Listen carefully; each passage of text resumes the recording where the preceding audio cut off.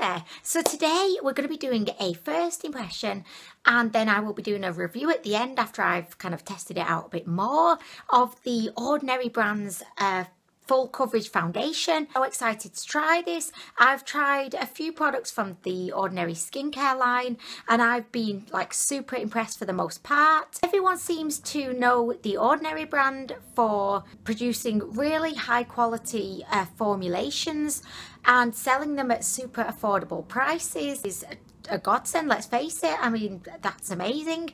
Uh, they have brought out two different foundations. Uh, this one, which I have, which is the full coverage, and they have another one, which is a little bit more sheer. This one cost me £5.90 for 30ml. The sheer one is £5.70. Both stunningly affordable. If you think nowadays drugstore foundations, Maybelline, L'Oreal, you're looking around the 10 pound mark. You know, the prices seem to just be like creeping up all the time.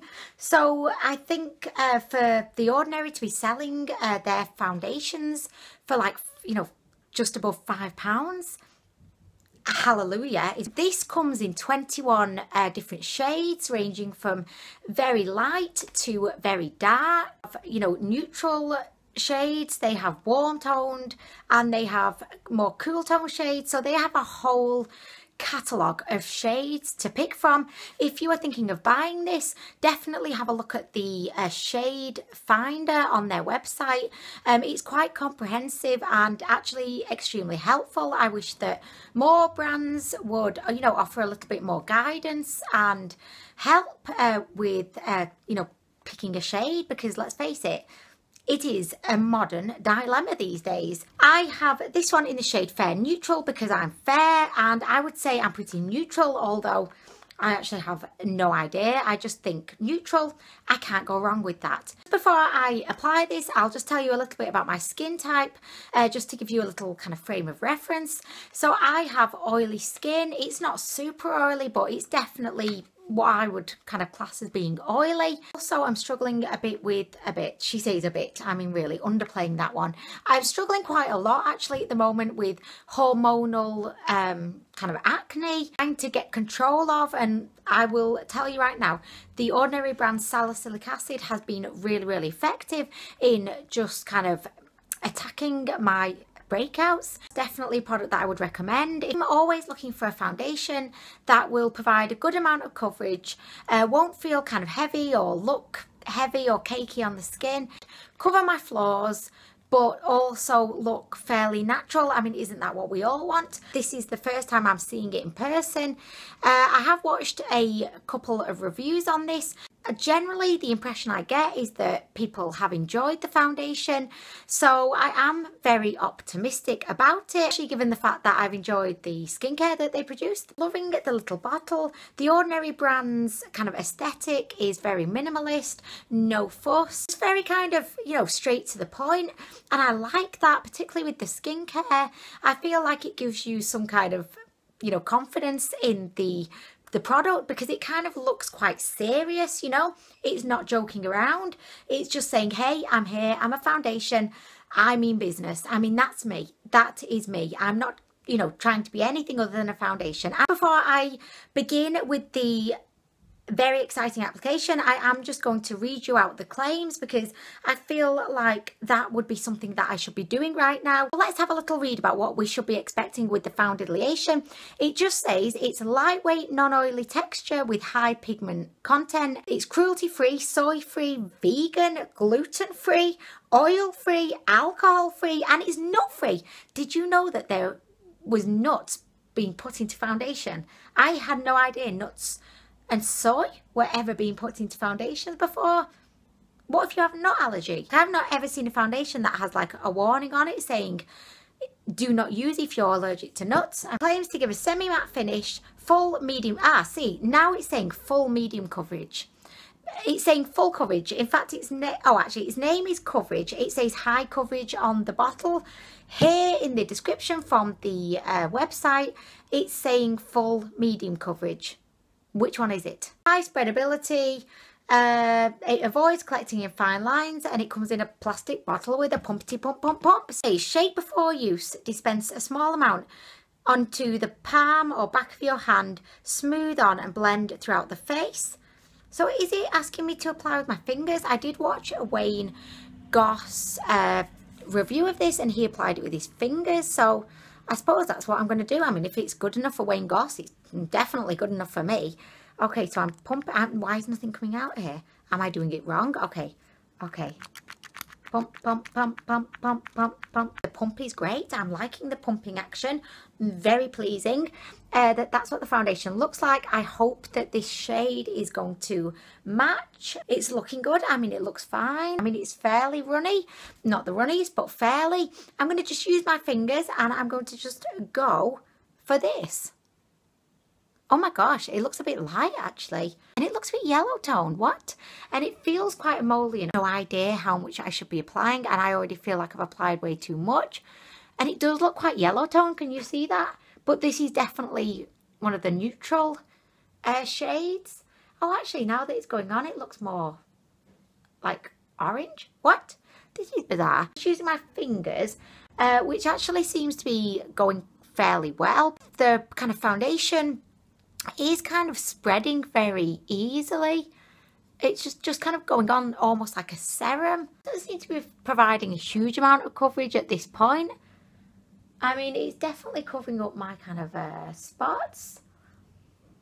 I feel like I am going to have to go in with my beauty blender, you know, just to kind of go over this. But, I mean, it does seem to be quite a you know, straightforward application. And I do believe you would get a, fuller coverage using your fingers at first, just to kind of spread it out. Feels nice on the skin. It does feel very emollient though. I, I'm not quite sure if this has a lot of kind of dimethicone in because it does have that kind of, you know, the primary kind of slippery feel to it.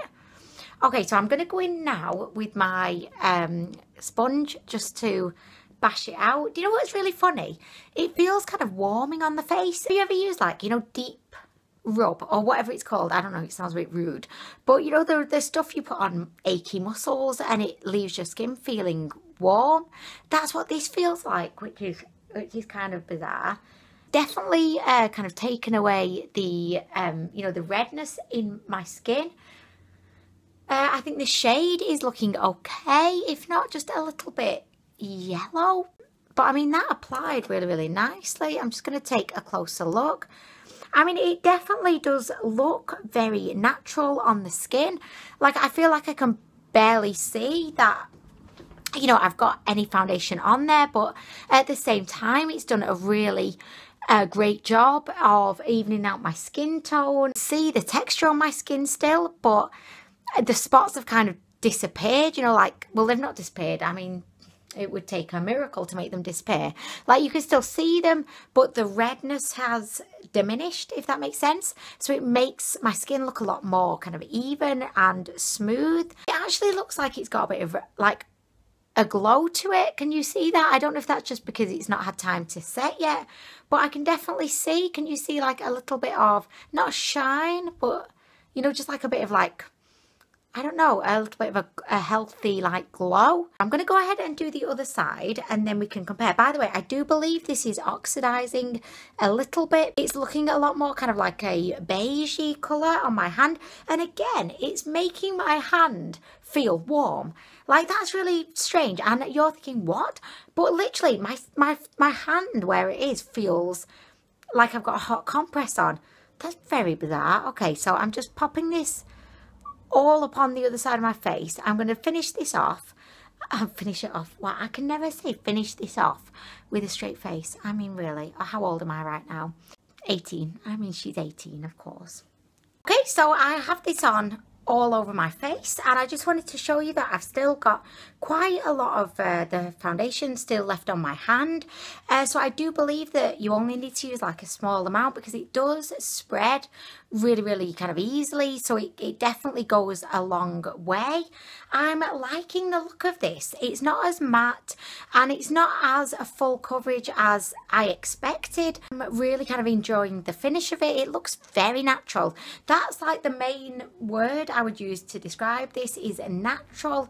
It's made my skin look really kind of healthy. I feel like it's covered my imperfections really nicely without making my skin look overly kind of uh, made up or cakey. I feel like you could even get away with this on a no makeup day if you did just want to uh, kind of even out your skin tone or if you wanted to just cover up spots or whatever that you know you could kind of get away with it just wearing it solo as it stands now I do really really like this as always with my foundation reviews I will be wearing this over the next few days just so that I can give it a really good kind of test out.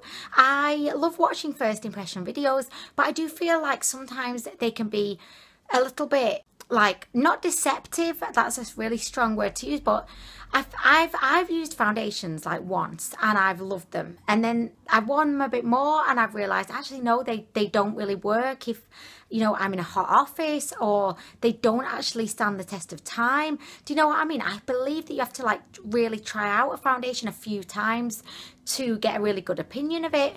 And I'm always reluctant to you know, be recommending anything unless I really feel confident that it's a good product. Not that like you would ever need to take my opinion on things like I, I wouldn't expect that. I am not quick to recommend if that makes sense. I always like to really test a product out before saying yes this is really really good uh, so yeah as it stands out I like it it feels really comfortable I'm not going to go on now because I'm going to come back like you'll see me in a minute after a few days and I'll be able to give you like my full kind of review of the foundation. But just as a first impression she is down with this. Getting down down down down down.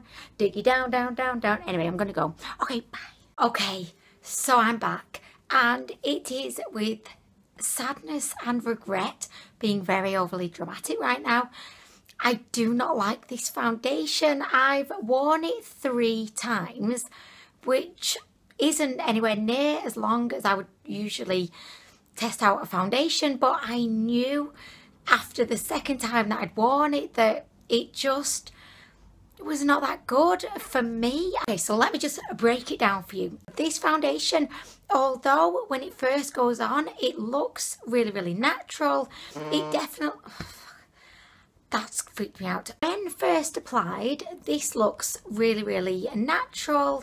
It looks glowy. It looks really beautiful. Problem is, it just has no lasting power. It sinks into my pores. It starts breaking up and it doesn't ever seem to really set. As I said earlier in the introduction, I do have oily skin, so maybe this isn't designed uh, with people with oily skin. If you have dry skin, this could potentially be really, really uh, brilliant because I do feel like it's quite kind of moisturizing on the skin. It's one of those foundations that it doesn't seem to ever set regardless of how much powder you put on it. It just will always find a way to sink into your fine lines, to sink into your pores, and then it just becomes a bit of a cakey mess because you are then trying to powder and it just is a disaster zone. I really wanted to like this foundation because it's super cheap and because you know I've enjoyed the ordinary brand skincare a lot but I just don't like it and I wouldn't recommend this if you've got oily skin if you have dry skin, I'd say maybe give it a go. It's super affordable. What have you really got to lose? £5.90. Also, this isn't full coverage. I don't feel. I've got it on now. I've had it on for about four, five hours at this point and um, you can see it just wears away like really quickly on my chin uh, around my nose. It's kind of really sank into my pores. It's really emphasizing them. It's really bad for uh, kind of emphasizing my fine lines. I just don't like this foundation. It's okay, so it's like, you know, the early days of a relationship, the first couple of dates, amazing. You know, you go off for days out, you're just having the best time ever and then they start farting and the farts stink and then they start to be itching their bum in front of you and then it starts just going downward. This that's like this foundation okay?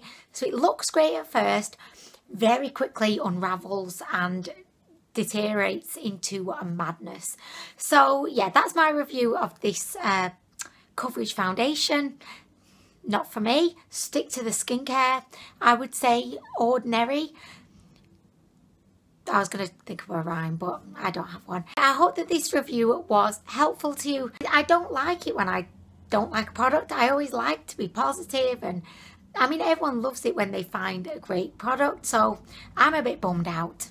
But uh, yeah, anyway, thank you for watching. I hope you're having a lovely day, uh, whatever you're doing, and I will be back soon with more. Bye, guys.